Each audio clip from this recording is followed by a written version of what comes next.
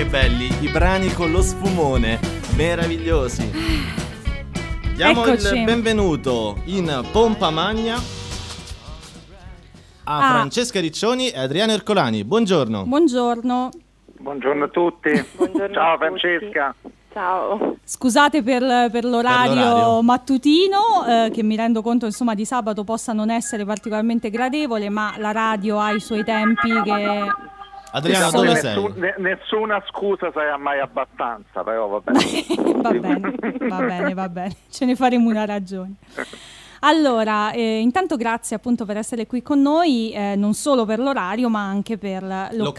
L'occasione. Esatto, che insomma ci rendiamo conto possa non essere magari eh, semplice eh, insomma da, da gestire a livello emotivo, però s- noi ci tenevamo molto a, a fare questa cosa e già ormai da insomma un paio di settimane mettiamo eh, ogni tanto dei, dei riferimenti a, a tuono pettinato, ma ci piaceva eh, parlarne appunto con delle persone che hanno avuto strettamente a che fare con lui. Ci hanno E- lavorato più Esatto, volta. sì, a, a parlarne anche proprio dal punto di vista del, del talento, perché secondo noi, e poi come diceva Adriano nel, mm, ieri nel post che, che ha pubblicato su questo eh, diciamo, approfondimento che ci sarebbe stato oggi, i libri poi restano, le cose poi restano, oltre ai ricordi personali, e quindi è giusto che magari anche chi non l'ha conosciuto come persona lo possa conoscere come artista.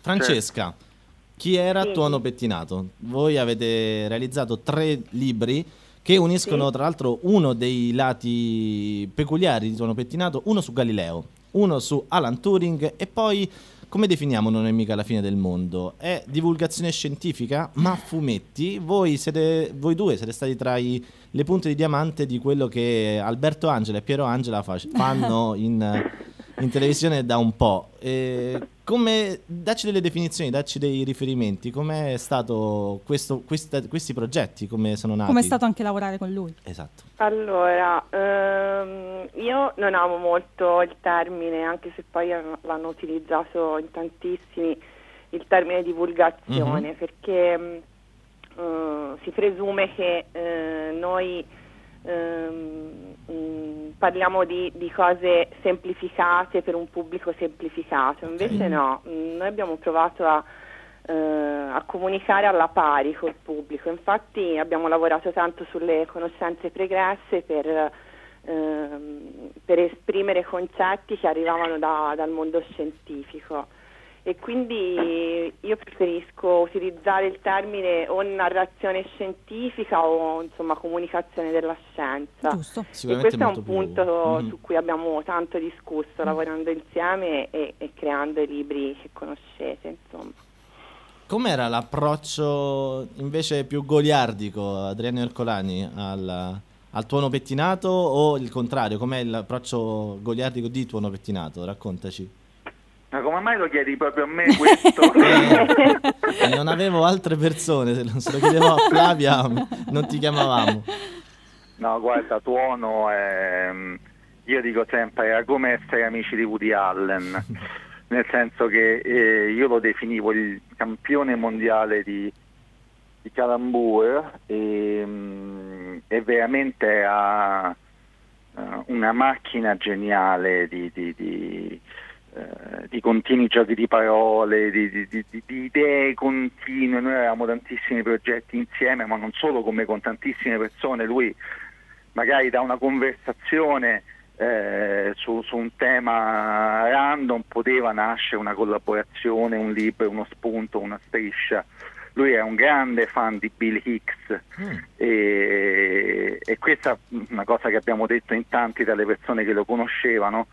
Tuono da un certo punto di vista era l'immagine della bontà, nel senso se uno lo incontrava no, alle fiere era proprio di una eh, tenerezza infinita, ma in realtà la sua intelligenza era affilata e sadica come il più crudele degli stand-up comedian, eh, mh, per cui veramente l- la cosa straordinaria di Tuono, da un lato lui è, è in grado di raccontare delle vicende tragiche come quella di Alan Turing o come quella di Kurt Cobain con un pudore raro però in realtà eh, ci potevi parlare dei Cannibal Corpse, quindi so che Sì, sì. Radiche io purtroppo per motivi, per impegni eh, pregressi non ho potuto partecipare al funerale ma mi hanno detto che il grande Radiche ha giustamente citato nel- nella sua orazione funebre i Cannibal Corpse, cioè per dire Tuono veramente...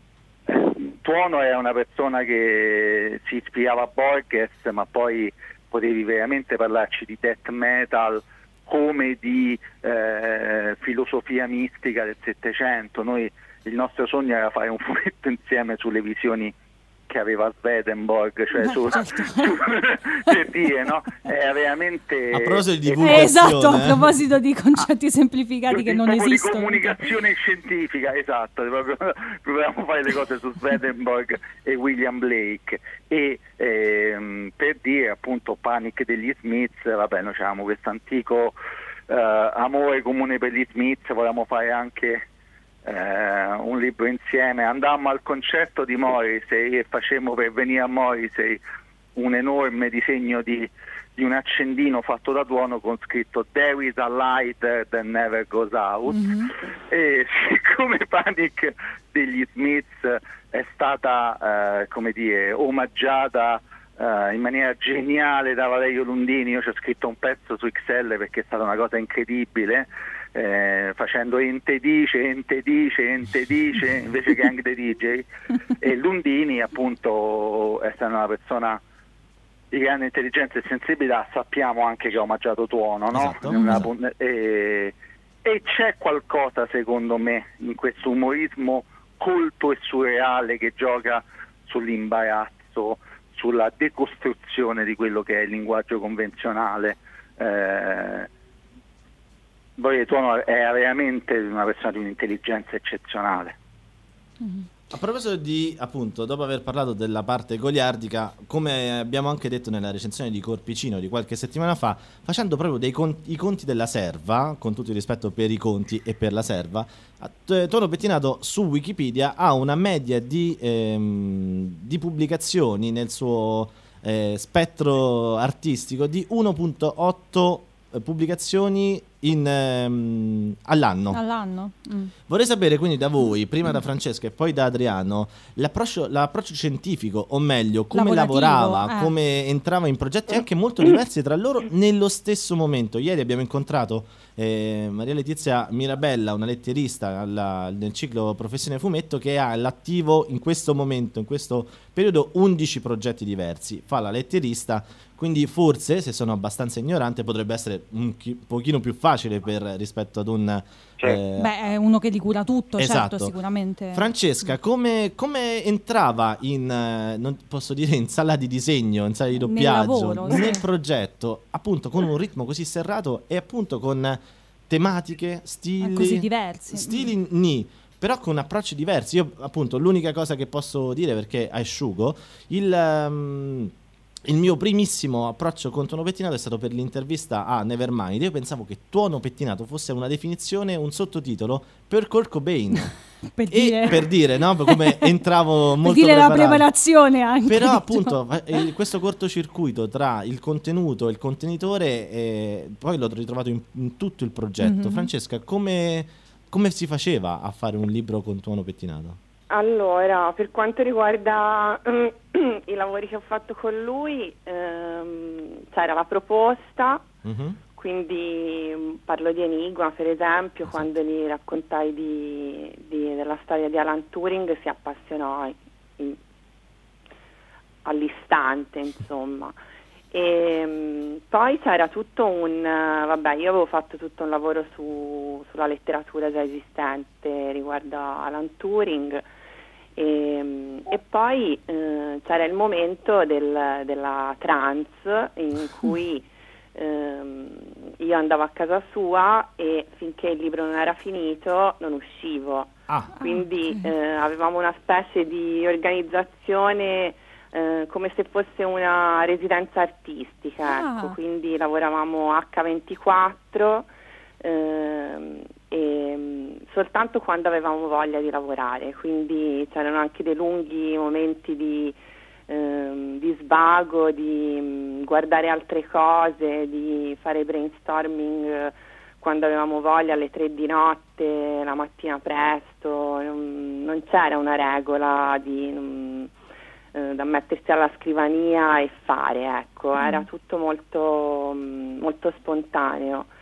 E, mm, e quindi questo mh, mi, ha, mi, ha, permesso anche di conoscerlo come, come persona, come non solo consegnando il lavoro o, o, lavorando in solitudine, ecco. quindi è stato importante anche per, per conoscerlo e per sapere chi è oltre ai suoi libri. Aveva dei rituali? Un qualcosa, un, uh, oltre al teuccio, anzi il teino come spesso è stato ricordato, aveva magari un momento... È, un, è un teista. Era un, un teista.